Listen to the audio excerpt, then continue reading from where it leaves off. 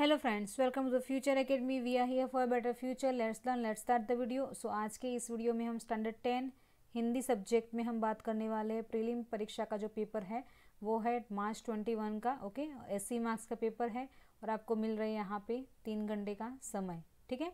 सो चलिए section A की बात करने वाले इस सेशन में हम तो जल्दी से सेक्शन ए को सॉल्व करते हैं, फिर बी सी और डी को सॉल्व करेंगे। नंबर वन यहाँ पे है वो देखिए, उससे पहले अगर आप चैनल पर नए हैं तो प्लीज़ चैनल को सब्सक्राइब कर दीजिएगा। वीडियो पसंद आए तो please press the like button दूसरे के साथ शेयर कर सकते हो। और अगर नए हो ऑल नोटिफिकेशन को क्लिक नहीं किया है तो प्लीज़ सब्सक्राइब करके ऑल नोटिफिकेशन को क्लिक कर देना, ताकि जब भी हम लाइव सेशन लें या फिर ऑफलाइन वीडियोज़ डालें, आपको तुरंत नोटिफिकेशन मिल जाएगी। ठीक है? नंबर वन है, लड़कों का बूढ़ों से स्वाभाविक डैश होता है। क्या होता है? प्रेम लगाव विद्वेश आकर्षण।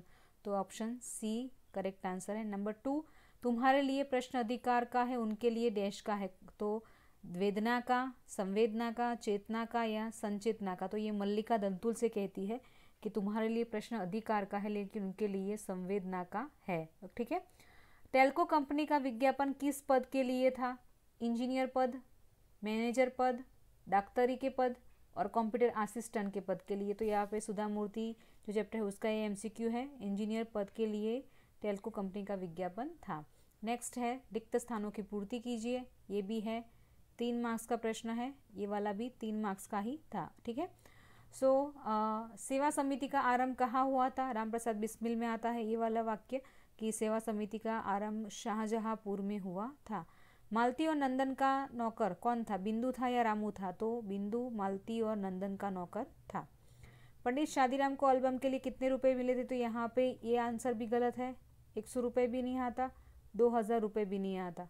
पाँच सौ रुपये आता है यहाँ पे आंसर कि जो एल्बम बनाया था, उस एल्बम का, जो एल्बम को बेचकर जो पैसे मिलते हैं, वो पाँच सौ रुपये किसको मिलते हैं? तो वो पंडित शादीराम को एल्बम के पाँच सौ रुपये मिलते हैं। यहाँ पे पाँच सौ रुपये दिया गया है। यहाँ पे दोनों आंसर गलत है।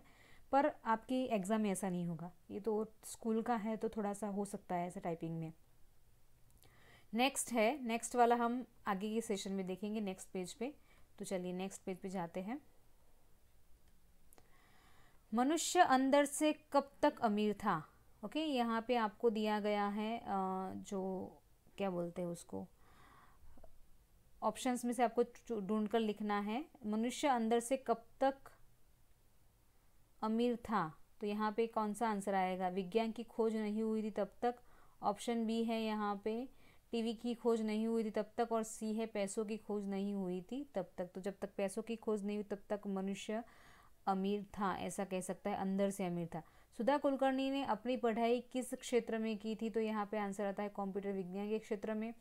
रामप्रसाद बिस्मिल को उनकी माँ ने क्या आदेश दिया था? देववाणी का आदेश करना, किसी की प्राण हानि न हो, प्रोत्साहन को सहायता देना। तो यहाँ पे वो कहती है कि तुम्हारे द्वारा किसी की प्राण हानि नहीं होनी चाहिए, ऐसा आदेश दिया था या उपदेश दिया था।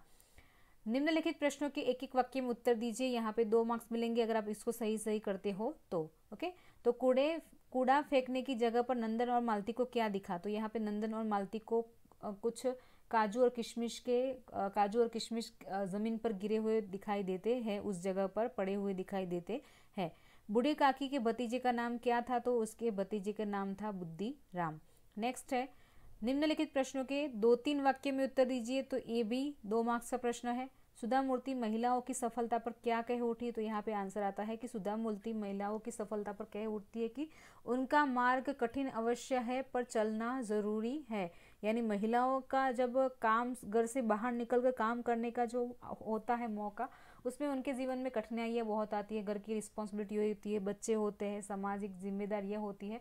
सो ये सब चीज़ों के होने के बावजूद हमें बाहर निकलना है और हमारा मार्ग कठिन अवश्य है। सुधा मूर्ति ऐसा कहती है कि हमें बाहर निकलना है, हमारा मार्ग कठिन अवश्य है, लेकिन उस पर चलना भी ज़रूरी है।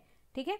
देन हम आगे बढ़ते हैं और यहाँ पे क्वेश्चन है कि चार पाँच वाक्य में उत्तर लिखिए, वो तीन मार्क्स का है, अपने तरीके से आप लिख लेना, फिर भी मैं बताती हूँ क्या लिखना है। दंतुल कौन था और मल्लिका के घर कैसे पहुँचा?